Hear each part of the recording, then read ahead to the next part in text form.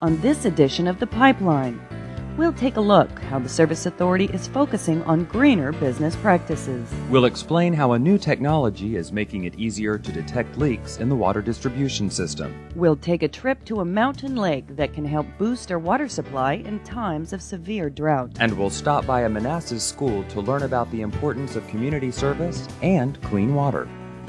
Hi, and welcome to The Pipeline, the video newsletter of the Prince William County Service Authority. I'm Melissa Hopkins. And I'm Keenan Howell. Today we're at the Lake Ridge Nursery and Garden Center in Woodbridge, which opened in Prince William County more than 20 years ago.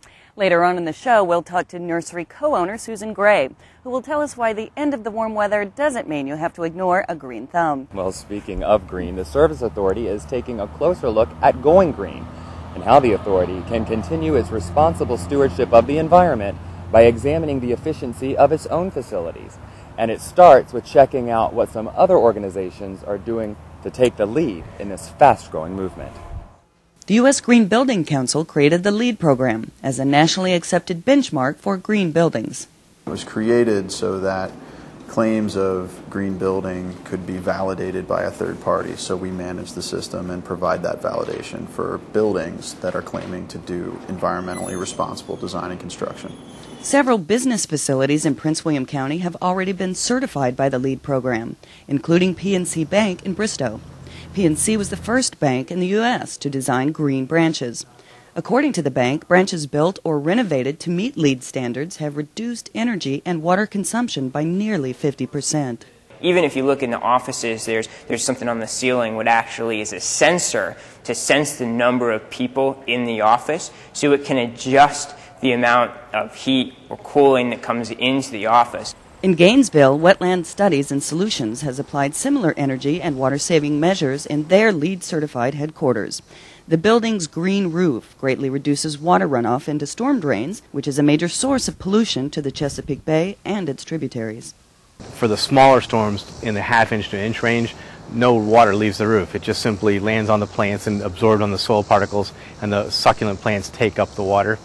Um, for the larger storms, it's going to let the water pass through, but it slows it down, so the time of concentration is much slower. The Service Authority has begun taking steps to make its own facilities more green, with initial efforts focused at the H.L. Mooney Water Reclamation Facility. We're installing an energy management system in the computer control system to help us control total power use and limit power during demand intervals. They'll help control the billing cost and provide overall greater efficiency. Leaks in the county water system have been a constant and costly challenge for the Service Authority. In fact, utility services have been struggling with the detection and management of leaks in their systems for more than 30 years. The pipeline's Jenna Coker tells us about a new leak detection technology that is making quick work of what used to be a lengthy process. For more than 20 years, Service Authority maintenance workers used time consuming analog equipment to detect leaks in its water distribution system. This slow process often resulted in increased amounts of water loss and required more manpower. To increase conservation and lower costs, the Service Authority purchased new fully digital leak detection devices. We are saving a lot of employee time, and this system allows us to be much more effective at finding and stopping expensive leaks.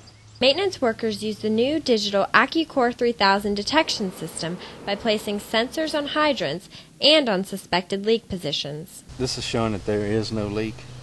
Leaks in underground pipes produce a sound which the high tech detectors correlate to pinpoint their exact location, factoring the pipe's length, diameter, and composition.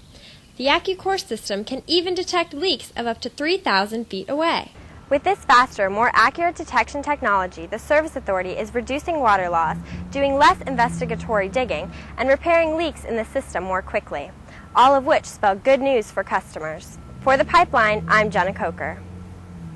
At times, a customer may notice an unusual spike in their water bills. And the Service Authority can now accurately explain those unusually high water usage levels on a month by month basis. For new customers, the Service Authority has begun installing meter registers that communicate water usage with remote technology. Before, the authority only used touchpad registers, which required a meter reader to touch a wand to an electronic pad on the meter lids.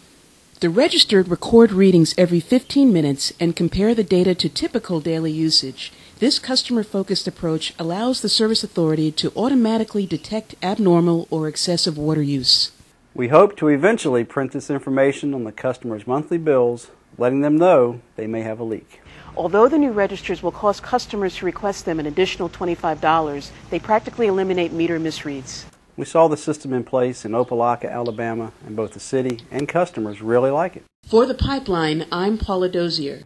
Northern Virginia experienced moderate drought conditions this summer. Fortunately, Potomac River levels remained high enough to prevent the need for voluntary restrictions on water usage.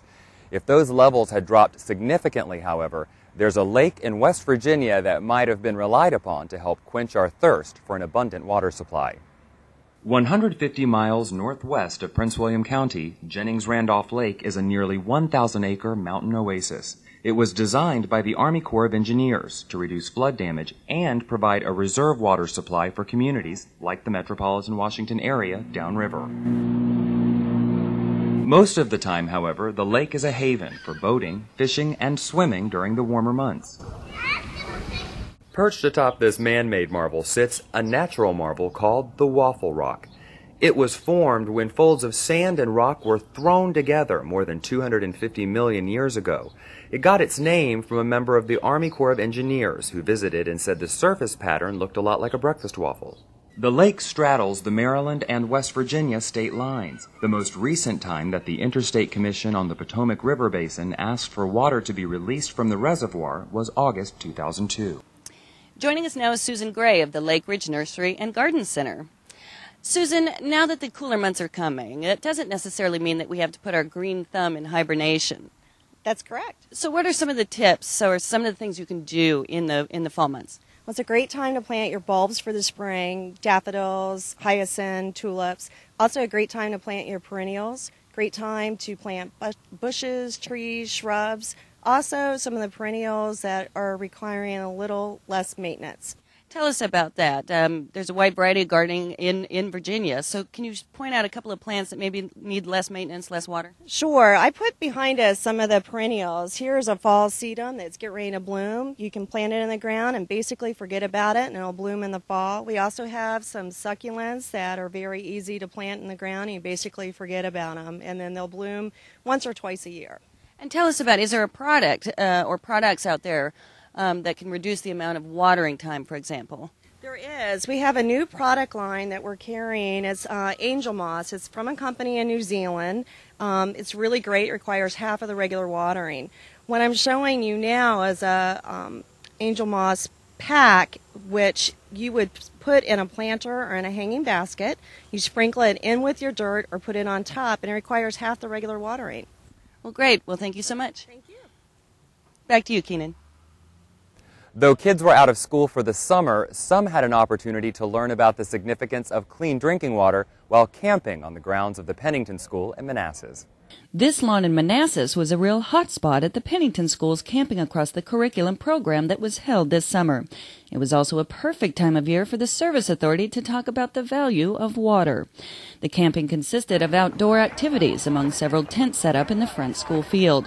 Each tent was staffed by a different group in the community, including the Service Authority. We hope to reach them at a young age to instill in them the idea of the, the importance of it, the value of it, and the need to, uh, to, to care for that resource.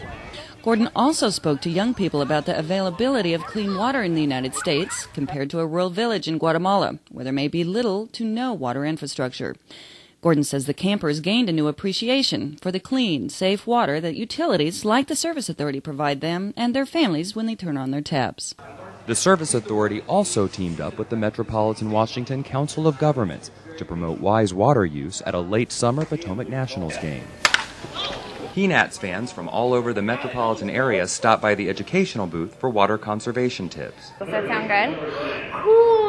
So cool. The water, use it wisely rubber duckies were a huge hit. Would you like a duck?